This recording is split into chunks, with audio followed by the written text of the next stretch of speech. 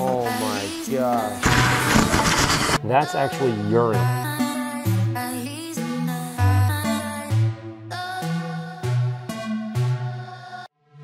Hey guys, just when you think you've seen absolutely everything in the car world, then this arrives. A 2005 Ford GT. This thing's been sitting outside for over five years. Dust, dirt, grime, mouse poo, spiderweb, you name it, it is in this vehicle. I need to get it cleaned up and off to a new home very soon, but I do know someone that might be able to help me with the process. This is just so beautiful. God, Connecticut. That is nice. Today on this episode of Try and Protect.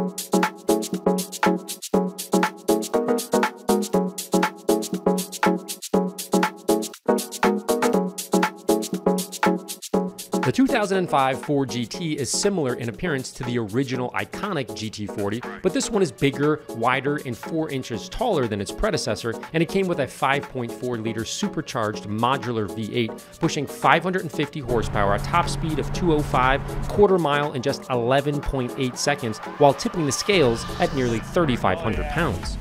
Of the 1900 produced in 2005, approximately 503 were made in white, and nearly 93% of all the cars came with racing stripes.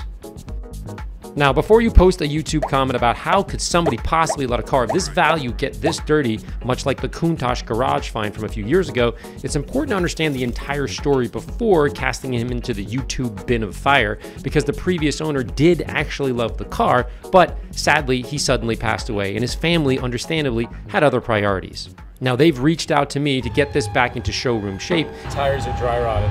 And they want to find someone who will love this piece of automotive history as much as their dad did. All my memories are coming back.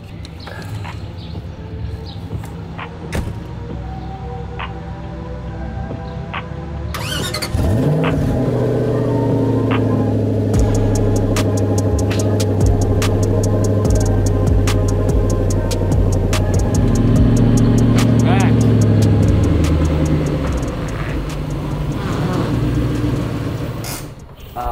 This is like, you probably get one of these in your life. Look at this, dude. There's like a pound of dirt inside the.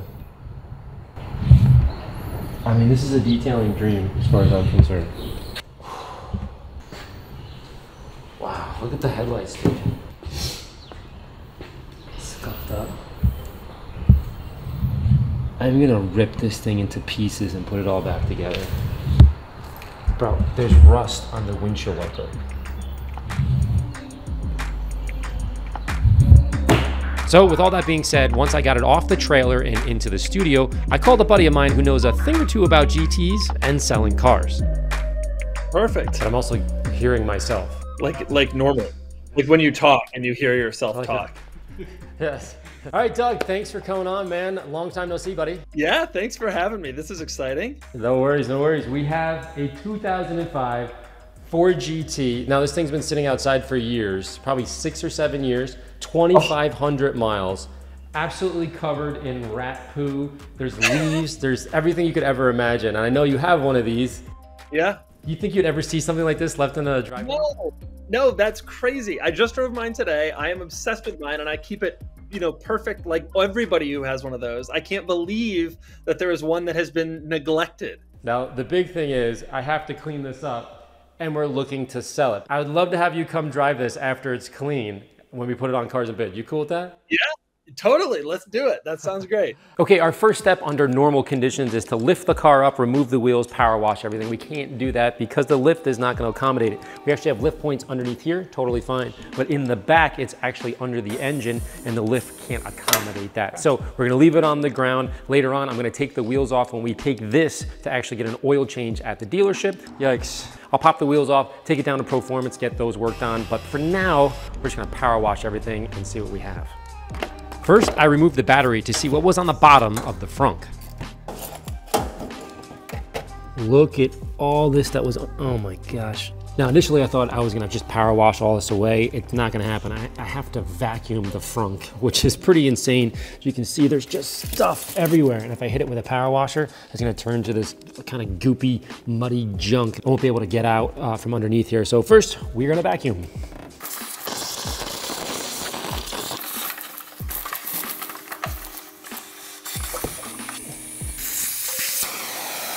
Next, I power wash the frunk and the engine compartment.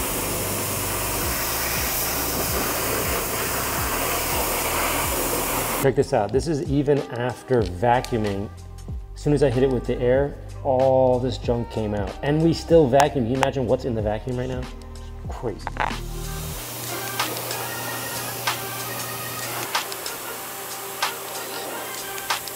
So power washing right now is a little bit of like a triage situation. I just need to see what's really bad and what's not. Now I find interesting is along these rails here, you can see this brown stuff. That's actually urine from mice kind of going back and forth. And they tend to walk around just the edges and there's not a lot of edges here other than these support bars. So you can see there's just marks all up and down the, the uh, support braces. I, I'd never seen anything like this in my life.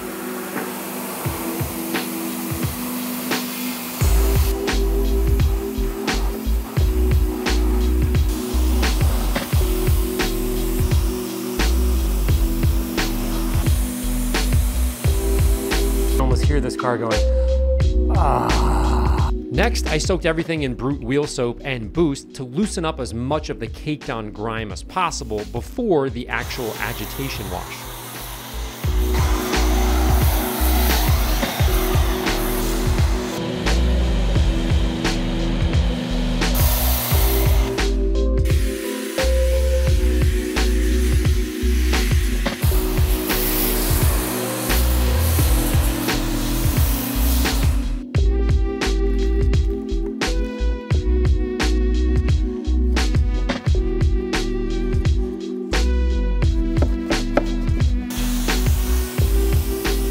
After my first wash was done, I then coated everything in Titan 12 degreaser because the oily, sort of greasy grime just kept coming and coming every time I would wipe it. So when you encounter oil-based stains or issues like this, using a higher pH cleaner can help loosen its grip on the surface by making the oil more soluble in water so it can just be washed away easier with the power washer.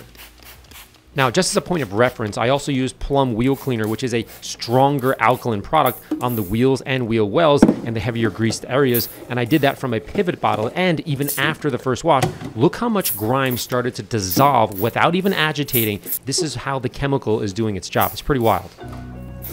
After about two minutes of letting it dissolve the grime, I decided to foam the entire car once again during the agitation phase of the wash because I wanted as much lubrication as possible because I really needed to scrub a little bit harder than I normally would, let's say on a normal preservation detail. There is nothing normal about this, so I need as much lubrication as possible.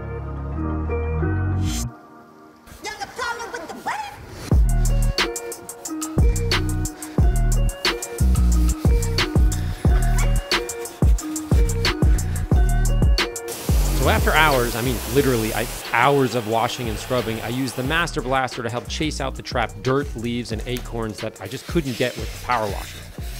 At this stage in the process, I'm not really concerned about drying the paint necessarily. I'm more concerned about using compressed air and potentially damaging the material as I go in and blow everything. So in this case, I'm using the Master Blaster to blow out the leaves and the acorns, all that. But at the same time, I just don't want to damage the material more than it already is. This blower is actually manufactured in America by hand and ironically right down the road from where I am. So it's super cool. Make sure you support our local detailers and companies that make products for us. Check out their website for vacuums and blowers of all sizes and use code AMMO at checkout for 10% off any of their website purchases. They're really good people. Check them out. With the outside of the car somewhat clean now, we still have a lot more to go. I focused on the interior by removing the seats and much of the floorboards.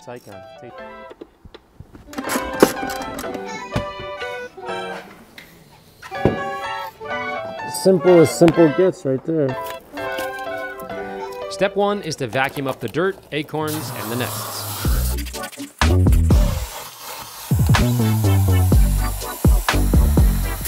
Next, I hit every crevice with compressed air to blow out the trap acorns and door seals. Now, because I pulled the seats out, I actually used the aerator this time filled with lather to cover larger areas quickly with an interior brush, and then I went back in and steam machine everything to safely remove the bacteria and the remaining mouse poop. I repeated the same exact process on the rest of the interior.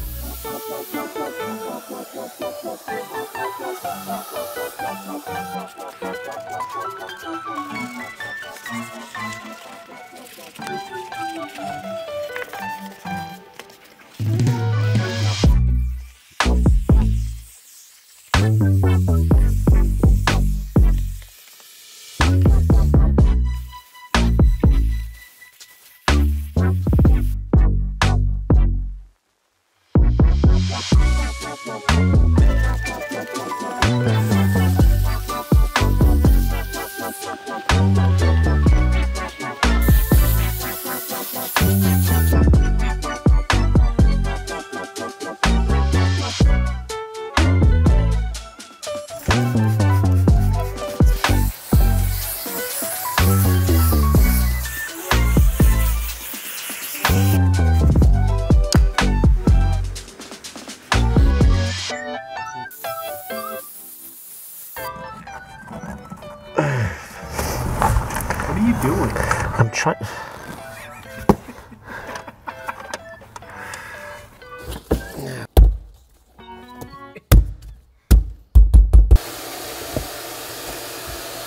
Few hours later, I focused on the exterior restoration. For that, I'm using a wool cutting pad on a Rupes 21 machine because the paint is just so swirled out and just scratched, which of course is gonna require a follow-up polishing, so I had a lot to do.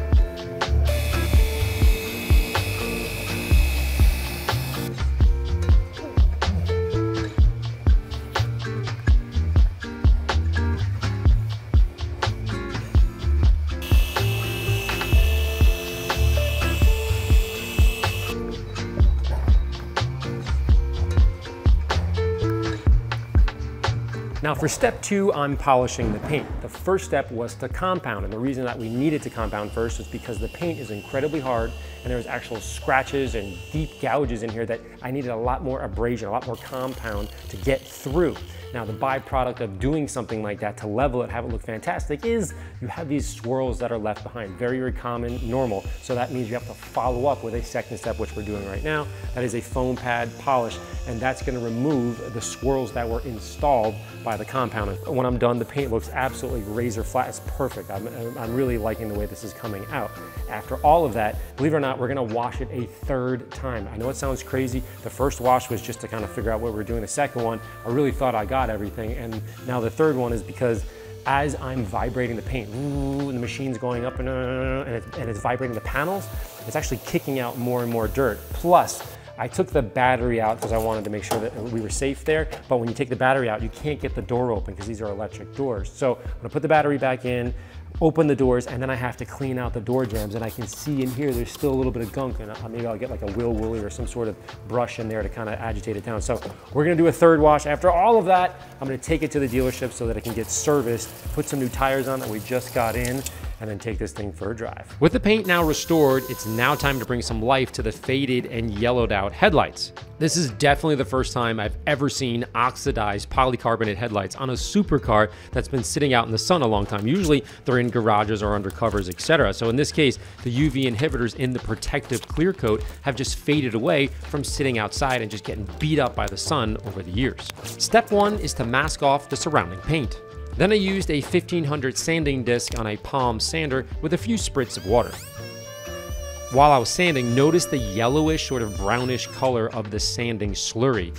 That is indicative of oxidation or the burnt up clear coat coming off during the sanding process.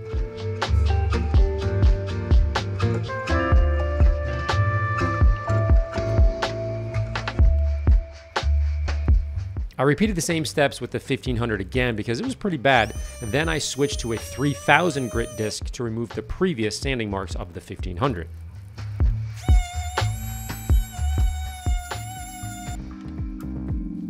Afterwards, I compounded with the 21 and then I polished with the 21 for a much cleaner and clearer headlight.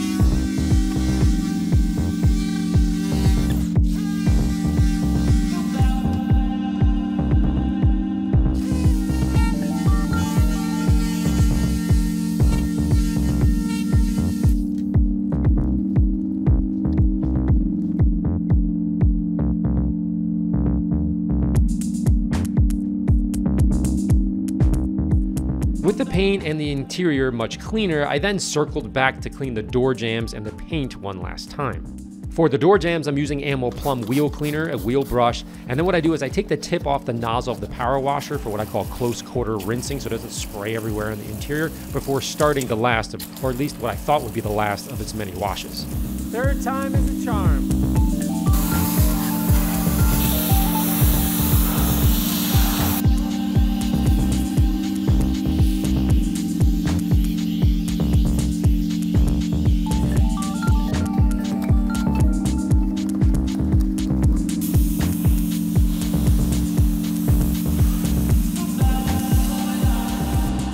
Afterwards, I conditioned everything in the car, including the parched seats, man. These things needed some major love with ammo mousse, and it required a few applications because it honestly was just so dry, it soaked everything up, so I had to keep reapplying it until it filled up. With that in mind, always remember to buff the leather after a few minutes just to maintain that matte yet moisturized finish. You don't want it to be glossy, so make sure you buff it.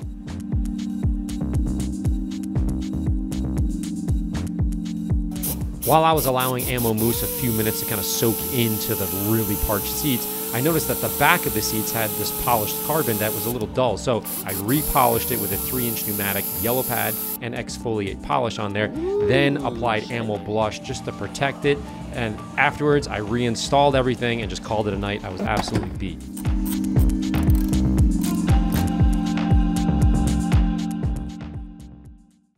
Bright and early the next morning, the car looked much better, but nowhere close to being done. We flatbedded the GT over to Brewster Ford for service and put her right up on the alignment rack once we got there. Big shout out to Ken Volz, the owner of Brewster Ford, and the team for accommodating the GT on such short notice and for allowing me to do what you are about to see in a minute. Oh my gosh.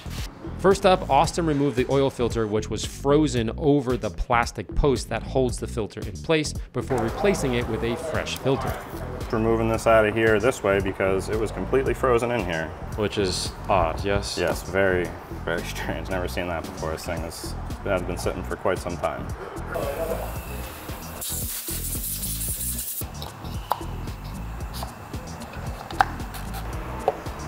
Next, he removed the under tray and its thousand screws, oh, revealing this. This is pretty nasty. Wow. Oh my gosh. What, like a little, A little nugget of something. I don't want to know. oh yeah. Oh my gosh. With the oil now draining, I asked Austin if he could remove the front splitter as well. When that comes down, you're getting a face full of Oh yeah. urine. Yeah, more acorns. With everything removed and now organized, I asked the boys if I could power wash the undercarriage of the car. I was freaking out at this point. They said yes, but I'd have to actually put down tarps over the lift to avoid pee and poo smell sort of getting in these trapped areas and just like reeking for days. I said no problem. So, with a borrowed dealership power washer and the hot water now flowing, I went nuts on the undercarriage with a degreaser. I just let it soak for a few minutes. Then I went outside, power washed, and scrubbed the trays before heading back inside and power washing the undercarriage, and it was disgusting.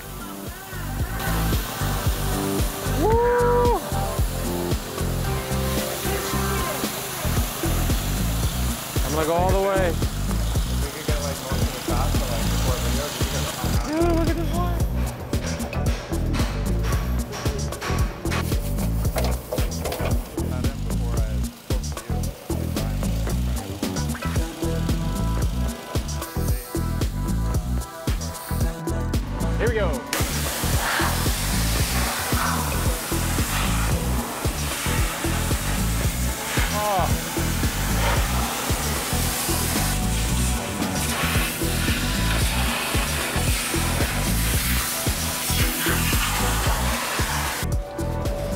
So when I first came under here, I was literally pulling out just leaves and junk everywhere. So we power washed everything.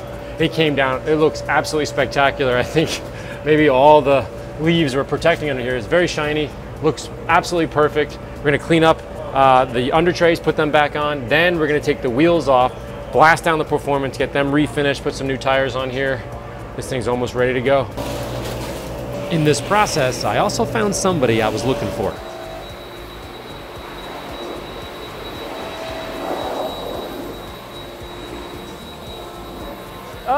Come here. Look what I found. I knew it.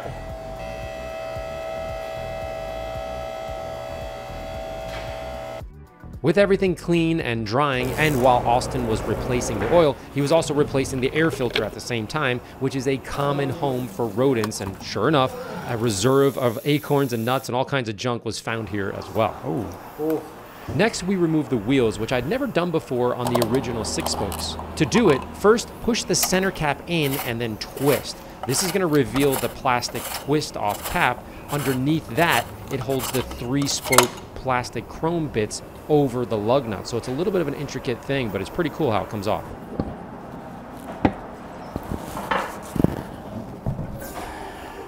I also asked Austin if he could remove the ignition covers and valve covers so I could get them repainted along with the wheels.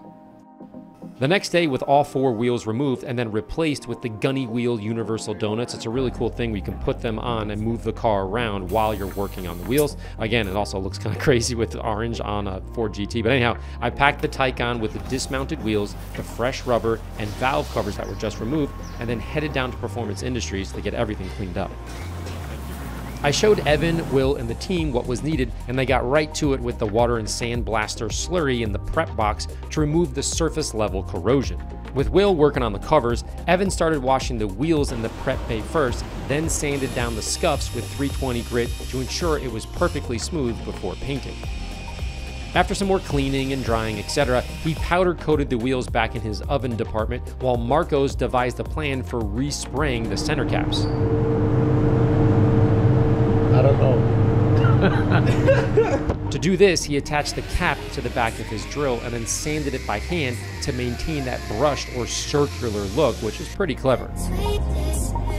A few days later, with the wheels and the covers now repainted, Austin reinstalled everything and torqued it to spec for a brand new look and feel on the GT.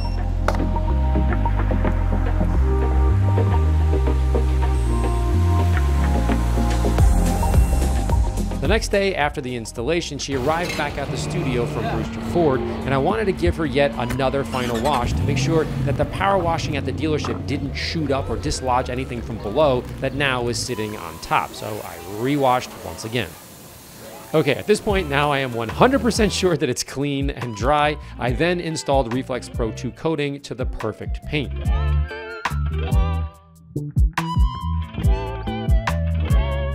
For the wheels, I did the same thing, but instead I used Gillette Pro wheel coating, which has five times the amount of solids designed for higher heat resistance and rigidity that you don't necessarily want on your paint, so it's designed specifically for wheels. For the faded and dried out trim, I used Frame Pro trim coating, and the before and after was just night and day. It looked absolutely amazing when we were done. Then I finished up with the glass, I added some mud dressing to the new rubber, and she was ready for a new home. But first, I wanted to show Doug DeMuro the massive transformation.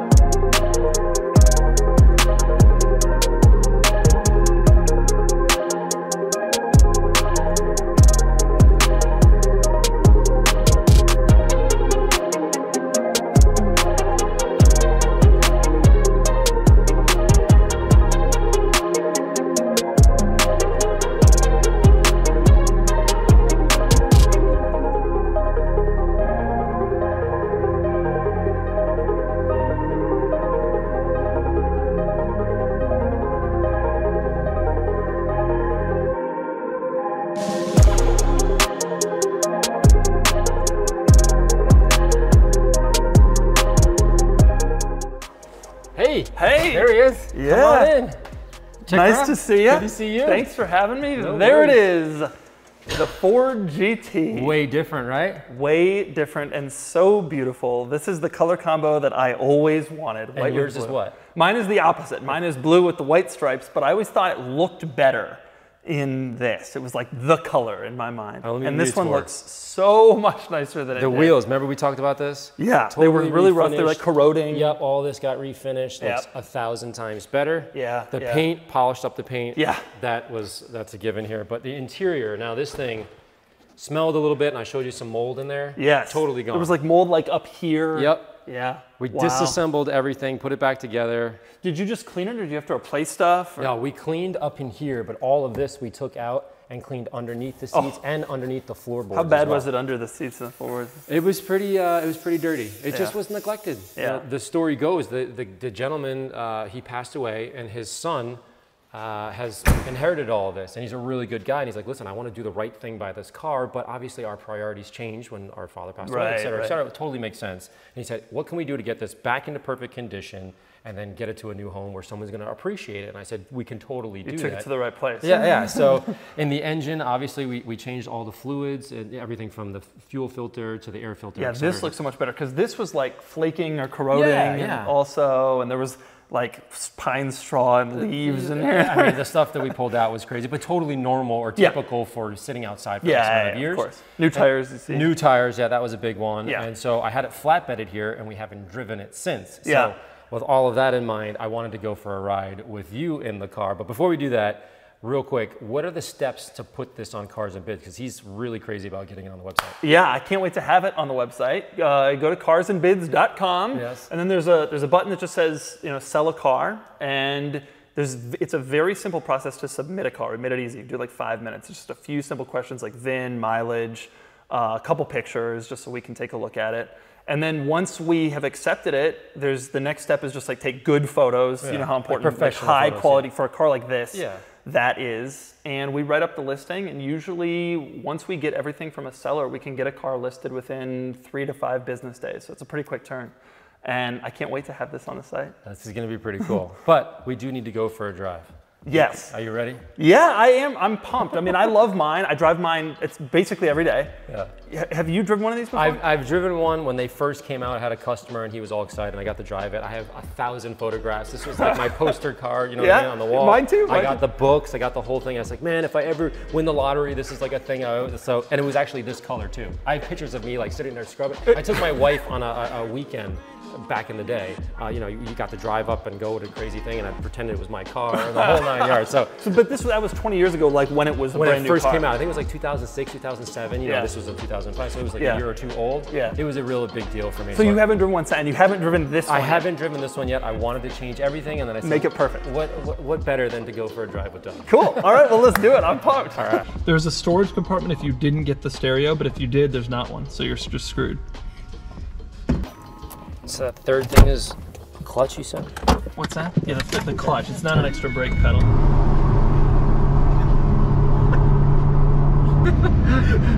The thing about this car that I love the most is that it's so usable.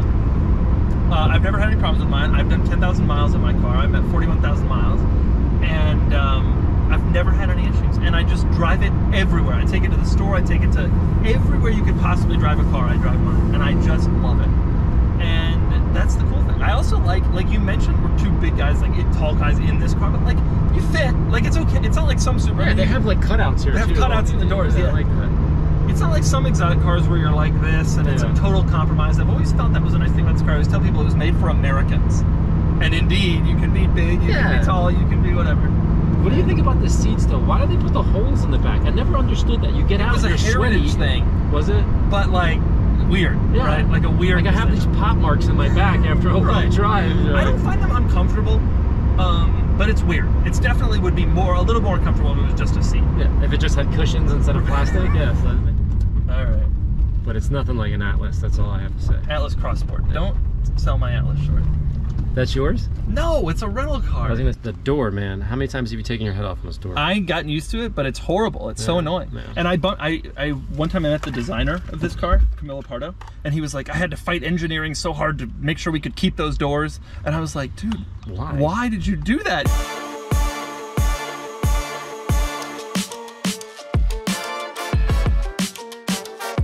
To find out more info on this and all of Doug's cars for sale, visit carsandbids.com. Now, I'll put a link down below to check out the Ford GT specifically, but if you have a car that needs to be restored and needs to find a new home, you can always reach me at larry at ammonyc.com. As always, guys, thanks for watching, and I'll see you next time.